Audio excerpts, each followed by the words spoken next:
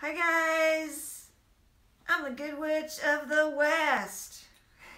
I didn't know there was a good witch of the West until just now. It's better than the But there Wicked Witch is. of the West. I'm the Good Witch of the West. And I am somebody else.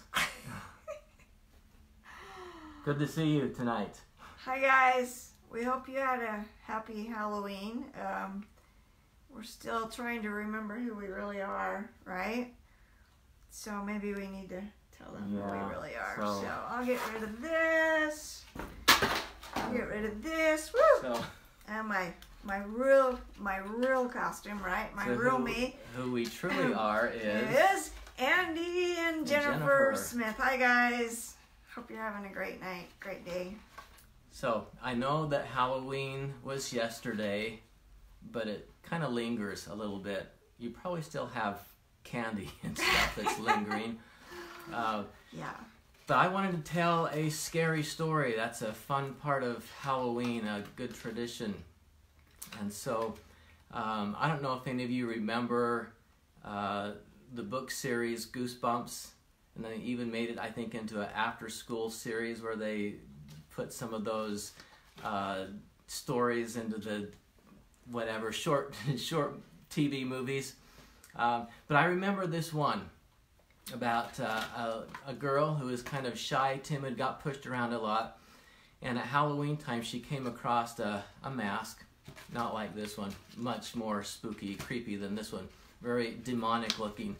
And she would put that on and feel powerful because nobody would know who she really was. And she went around just like scaring the daylights out of people. And she had so much fun doing that that she ended up wearing that mask more and more to scare more and more people. And after a while, she realized that the more she wore the mask, the more it started to change how she felt and, and saw people. It, it was changing her. And this story ended well for her, but she realized what was happening is that mask was becoming her it was the the mask was turning into her skin. It was you know that was the the creepy story. Yeah. that, was like, oh, that, that, that mask was going to overtake who she really was and turn her into a permanent demon. Uh, it fortunately ended well. She realized what was happening and she was able to somehow get that off and save herself and threw the mask away. Uh, but there's there's a good Halloween story.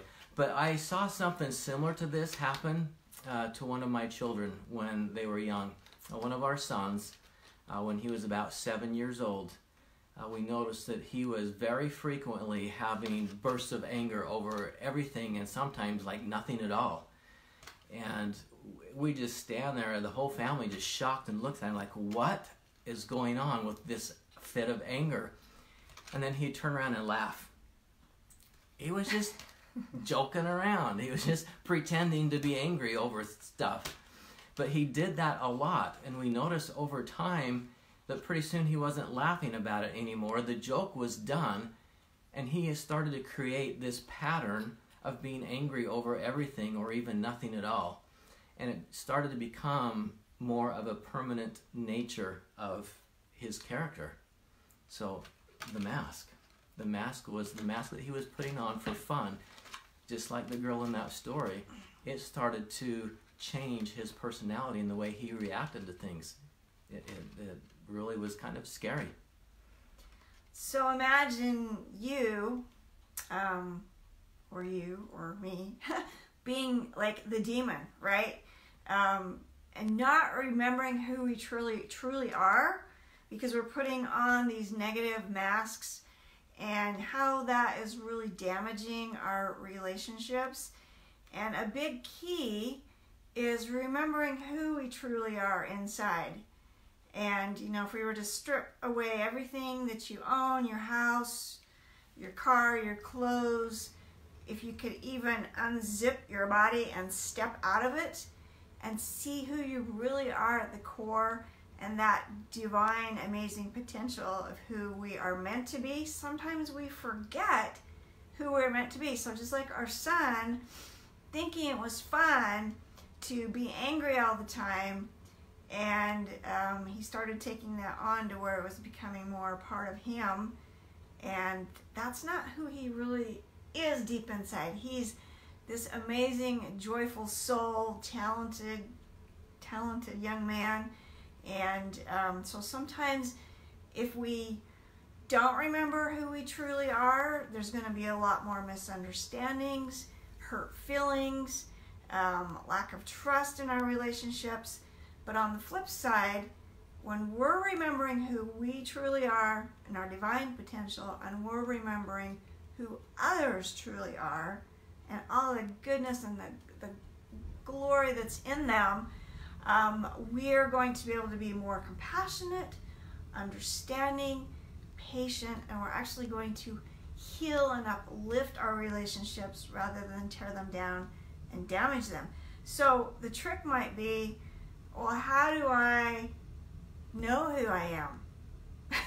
Sometimes that's what it seems like. It's a matter of I don't I don't even know, or sometimes it's like we need to remember who we are. Remembering um, who we are, yeah. So whether you're established like a first time figuring out who you are, or you just need to remember and reconnect with that divine nature in you, it, it's kind of the same thing. But it, it's it's important to either remember or or discover for the first time what that divine nature in you really is.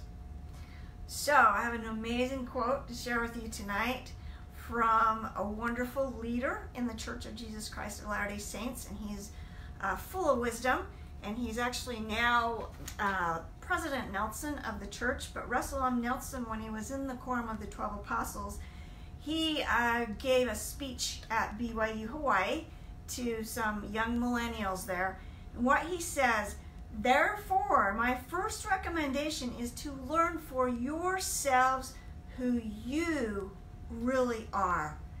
Ask your Heavenly Father in the name of Jesus Christ how he feels about you and your mission here on earth. If you ask with real intent, over time, the Spirit will whisper the life changing truth to you. Record those impressions and review them often and follow through with exactness. I promise you that when you begin to catch even a glimpse of how your Heavenly Father sees you and what He is counting on you to do for Him, your life will never be the same. And we can relate that. So think about that in terms of who you are and what He is counting on you to do for Him in your marriage and in your family relationships. Knowing who you are is going to create wonderful, inspiring, empowering, nurturing relationships in your marriage and in your family. And it's a basically, I get out of this, it's a four step process. You're going to ask, you're going to listen, you're going to write it down, you're going to obey with exactness four steps. That's doable. We can do four steps. So amazing, amazing wisdom. And, and Andy and I, through the past few years, have done this for ourselves and come to know who we truly are, and that just like you, we have an amazing divine purpose and mission here to accomplish on earth, but we have to seek and understand what that is. So we invite you to do that, to follow those four steps.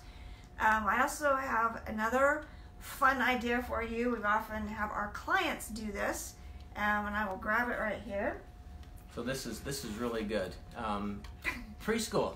Yeah, and it might be hard to it see. It sounds like a preschool activity, but it is amazing. It is an amazing tool to help people remember and reconnect to who they truly are. So a lot of times we think about all the negative weaknesses about ourselves. That's not who we really are, right? That's a mask who we really are is strong and amazing and full of divine potential. And so this is called the Who I Am poster. Now I'm going to just cover us up for a minute. Yeah. So on my wall it would hang like this. Uh, my husband's, his is shaped more like Peter Pan, Superman pose, right? Like with, with the arms out, the hand on the hip. But so you can make whatever shape you like. That's an empowering kind of a shape. And then you fill this in with who you truly are. And just because you might not be perfect in something, like I have a friend who put hardworking and she said, but sometimes I feel lazy. but the true, my true friend Amy, she is hardworking, right? So it's not that we're perfect in these things, but when we remember who we truly are. So, like some of mine, I have forgiving, friendly, um, committed. So, we're committed to giving you a message every week. Um, confident, brave, compassionate, all these great things about yourself. And you fill in all the space. Try not to leave like a lot of white spaces in there because you are amazing. There's so many things you need to remember about who you truly are. And then um, look at this every day and maybe choose one thing on there to get even stronger and, and improve on of who you really are and who um, you're aspiring to be, right? So who I who I am poster, super great activity for yourself or with your spouse or your family. What, Try that. What I really like about this is you look at this every day and it is most likely a much clearer reflection of who you truly are than even looking in the mirror at yourself. This, if you will follow that four steps, and this is a way that you can write it, you ask, you listen, you write, and something like this is a fun way to write it, and then you follow through. These things are what you follow through on. And this is a more accurate reflection of who you are. Who you really are. Yep. So, remember, masks are okay once in a while. Um, we all sometimes put on a mask for Halloween, and within our relationships, we sometimes step out of who we really are and put on a mask. So, you know, if you're ever thinking and feeling angry, or you're feeling impatient, or critical, or you are unforgiving, or lazy, those things, whether it's you or you see it on someone else, it's the mask. And just, we can forgive the mask. Just realize that that's not who we truly are. So. So when you remember who you truly are, you're going to have more compassion, patience, understanding, um, and and be kinder to one another. So remember who you truly are. Love you guys. Have a great night. night. Bye.